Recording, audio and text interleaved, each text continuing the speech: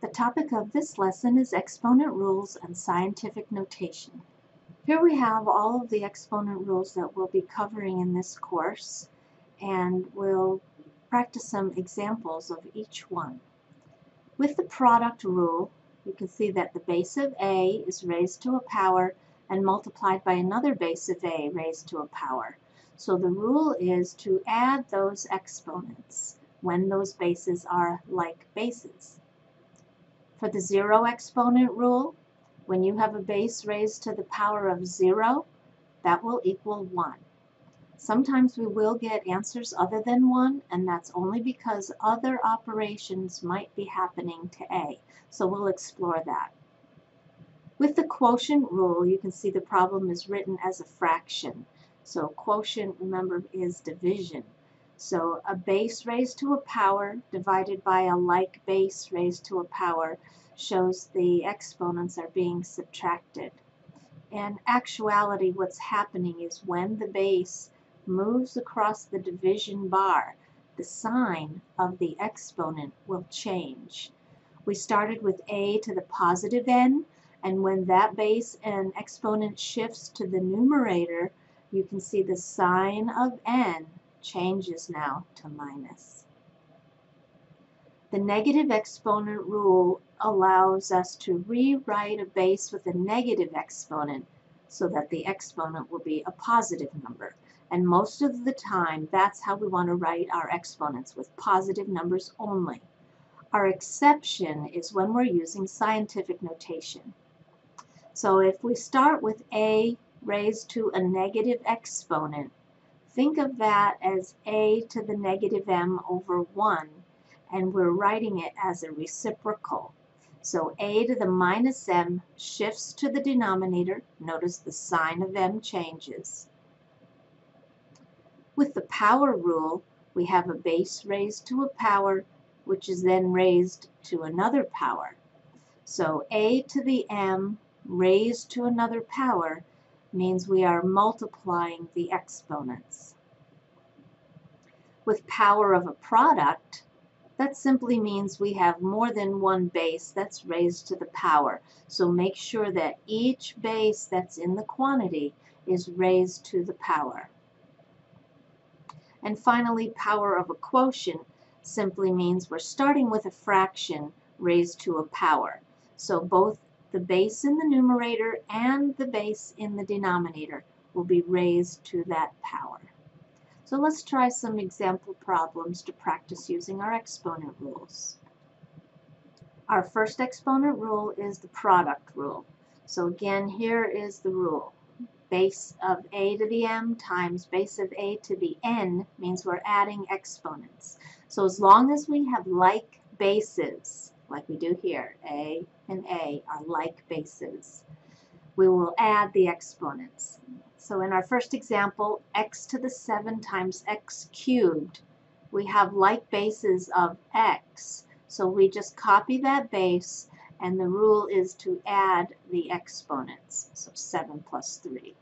So this will give us x to the power of 10. Next, we have y times y squared times y to the fourth. So all the bases are y. So we keep the base of y.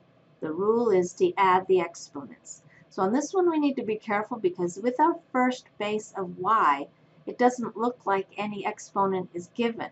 So when nothing is written, it really is positive 1. So we have 1 plus 2 plus 4. So that makes y to the power of 7. In our next example, notice this time the base is not a variable, it's a number. As long as those numbers are the same, we're still following the product rule. So the product rule says to keep the common base. In our situation, it's 2. And then you add the exponents, 2 plus 3. So 2 plus 3. So that means 2 is raised to the power of 5. Since 2 is an actual number, we can further evaluate this problem. So it means 2 times 2 times 2 times 2 times 2. So you can either do this on your calculator or work it out by hand. 2 times 2 is 4. Another 2 times 2 is 4. And then times another 2. 4 times 4 is 16 times 2. 16 times 2 makes 32. So the final answer is 32. Here we have the zero exponent rule. When your base is raised to the power of 0, that will equal 1. So in our first example, x to the 7 times x to the 0. We do have a common base of x, so we could use the product rule and say x to the 7 plus 0, that equals x to the 7th. Or we could see it as x to the 7th multiplied by x to the 0, we know is worth 1. So x to the 7th times 1 is still x to the 7th. So we actually have two options to work out this first problem. In the next problem, you can see we have y times y to the 0 times y to the 8th. Remember, y is really y to the first. Y to the 0 is worth 1. And then we have y to the 8th. So if we multiply these together, it's y to the first times y to the eighth. Now we're using our product rule again. y to the 1 plus 8 gives us y to the power of 9. In our next example, this time the base is a number instead of a variable, so the rule still applies. If the base is raised to the power of 0, then it is worth 1. Now the next part is a little trickier because we see 2x to the 0. So you have to think what is actually being raised to the power of 0. And that would be only the base of x, not 2. If 2 were to be included, it would need to have parentheses to show it's included. So we really have 2 times 1. So this answer is 2. And we have something similar here in the last example. We have negative 2 to the 0. So only the base of 2 is raised to the 0, not the negative. There's no parenthesis to include that negative. So we actually have a negative multiplied by 1, which is negative 1. So what I was talking about earlier, sometimes we have answers other than 1 when a base is raised to zero. And that's only because there are other operations happening to the base. In this last example, a negative was being multiplied by the base. In this example, 2 was being multiplied by base of x. So we have answers other than 1. Here we have the quotient rule. With the quotient rule, we're starting with a fraction. We have like bases. So what was really happening here is a to the m is multiplied by 1 over a to the n. And then a to the m was multiplied by a to the minus n because the term in the denominator shifted across the division bar and when that happens the exponent changes its sign.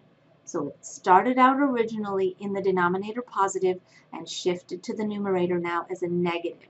So notice we have product rule. Both bases are a, so we have a to the m plus negative n. Well, m plus a negative is the same thing as m minus n. So that's where the rule originates from. Looking at our examples with the quotient rule, x to the 7 divided by x to the fourth really means we can take the term in the denominator, shift it into the numerator. So we have already x to the 7 in the numerator, and it's being multiplied by x to the fourth shifting. So when that happens, the 4 becomes its opposite sign. So both bases are x, and we're adding 7 plus negative 4. So that makes x cubed. In the next example, our bases are numbers, but the rule still applies. We're keeping 3 to the 7th, and we'll multiply it by shifting 3 to the 4th into the numerator. So the base of 3 remains, but positive 4 when it's shifted, becomes negative 4. Notice both bases are 3, so we keep 3, and the rule says to add the exponents.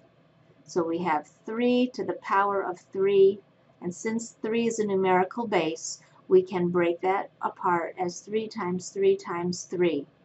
So that makes 9 times 3, or 27 for the final answer. Now the next two examples are just a little more involved because we have different bases here for the numerical portion. So think of this as 20 fourths. If you can reduce the fraction, then go ahead and reduce the fraction. So I know that 20 is divisible by 4, and so is 4. So if I reduce, I'll have 5 over 1.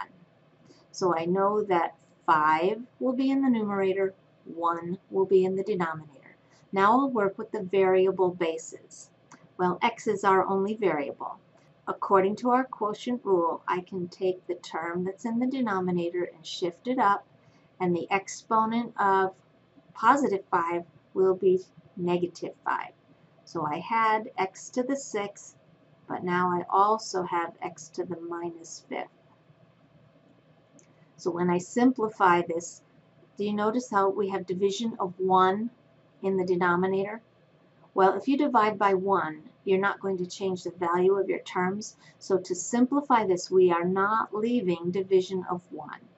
Everything collected in the numerator, 5x to the power of 1, which we just write as 5x. In the last example, again, we've got some numerical coefficients, 12 and 14, and they're even numbers, so they're at least divisible by 2. And that's probably all because 12 would be 2 times 6 and 14 would be 2 times 7. So we could reduce the 2 and this time our fraction we're going to have 6 in the numerator and 7 in the denominator. Now let's look at the variables. I have some bases of y and some bases of z. So I'll just start with y. When I shift y to the 8th to the numerator, I already had y to the 10th up there, and now I'm going to have y to the minus 8th.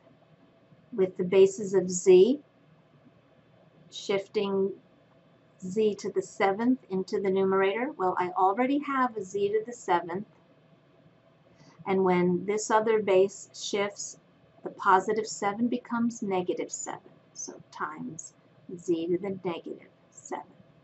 Now you can see 7 plus a negative 7, that's going to make z to the 0.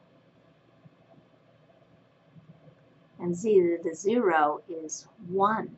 So what actually happens is the base of z is completely eliminated from this problem. We still have 6 sevenths, and we still have some base of y. So 10 added to negative 8 would make 2. So we have 6y squared divided by 7.